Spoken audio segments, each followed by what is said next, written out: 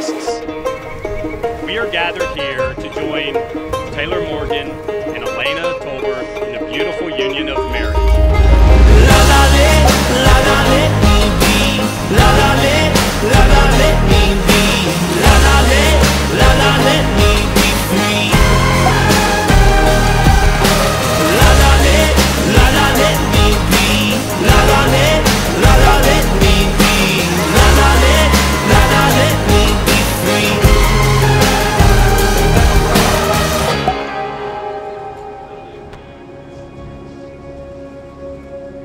I first asked each of them what attracted you to your partner.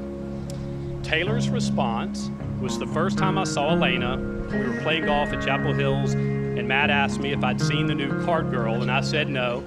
And then I saw her at the turn, and I said, That's going to be my wife. Taylor, I remember seeing you for the first time at the golf course when I was only 18 years old.